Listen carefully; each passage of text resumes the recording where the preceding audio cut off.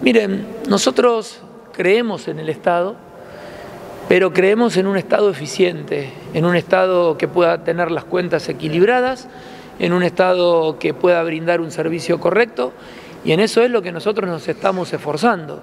Si nosotros logramos tener equilibrio en las cuentas de la empresa de aguas de la provincia de Santa Fe y que la empresa pueda prestar un servicio eficiente, hasta yo me animo a hacer la inversión que vamos a hacer. 87 millones de dólares es mucho, mucha plata y lo hacemos sin créditos internacionales, sin financiamiento internacional, lo hacemos con recursos del Tesoro, con lo cual el primer objetivo nuestro es mostrar que hay un montón de privilegios y de cuestiones que las empresas públicas se pueden corregir. Lograr eso es la primera posta. Cuando tengamos una empresa eficiente no vamos a estar discutiendo esto. Creo que lo vamos a poder lograr, como decía, 90% en diciembre del 2023. Eh, ya tenemos un 40% de recursos del Tesoro en este momento y esperamos que a finales de diciembre del 2025 la empresa pueda estar equilibrada.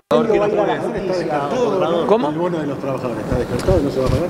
Completamente descartado. Miren, es algo que nosotros consideramos un privilegio en un momento que la empresa se sigue sosteniendo con recursos por parte del Estado de la provincia de Santa Fe.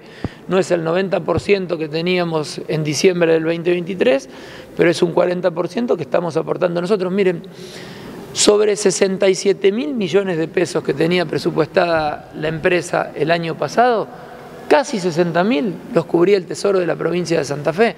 Entonces uno no, puede sañar una empresa, hablar de eficiencia de una empresa cuando el 90% de los recursos lo ponen todos los santafesinos y santafesinas. Recordemos que esta empresa presta servicio en 15 ciudades de las 366 localidades. Gobernador, ¿alguno de esos privilegios cuáles serán? ¿Había empleados que antes de jubilarse, por ejemplo, designaban a familiares? Bueno, lamentablemente durante muchos años, muchos años, sucedieron muchas cosas y hubo algunas cuestiones que no están bien. Son discusiones difíciles, porque uno va contra el orden instituido, parece, o contra los que algunos plantean que son derechos adquiridos. Para nosotros son privilegios. Y si a las empresas públicas nosotros las queremos administrar bien, tenemos que lograr que entren los mejores. Pueden ser familiares o no, pero tienen que entrar los mejores.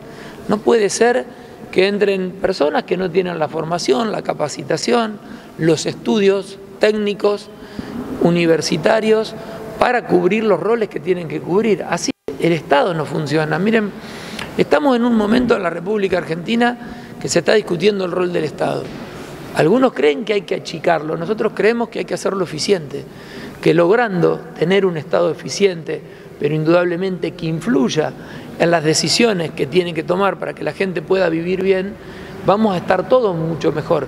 Pero para eso tenemos que reordenar y para reordenar tenemos que meternos en lugares que no son fáciles, que son complejos. A mí no me eligieron para administrar y que todo siga o que todo pase. A mí me eligieron para que cambie y que transforme muchas cosas. Y eso tiene que ver con lo que estamos haciendo. ¿Cómo va a ir a la justicia, gobernador, con respecto a la quita de los premios? ¿Qué opina? Que vaya a la justicia, nosotros también vamos a ir con nuestros argumentos. Tenemos de sobra argumentos para mostrar en primer término, que en función del convenio colectivo, este bono ya fue cobrado en, la primer, en el primer trimestre del año, con creces.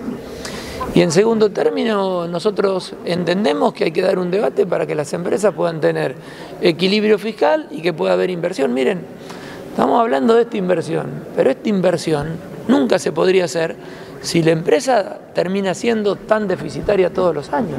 Y para eso hay que ir a un debate profundo cuáles son las inversiones que tenemos. A ver, en Rosario, cuando yo asumí la gestión, teníamos más de 800 pozos que algunos ni siquiera tenían corralitos. Hoy tenemos 250.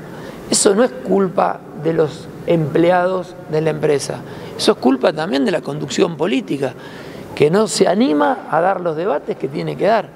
Pero si nosotros logramos equilibrar la empresa, no solo que vamos a salvar la empresa, sino que vamos a lograr que haya un número importante de inversión que a nosotros nos permita mostrar que el Estado puede administrar de manera eficiente. Y es lo que yo voy a hacer durante mis cuatro años.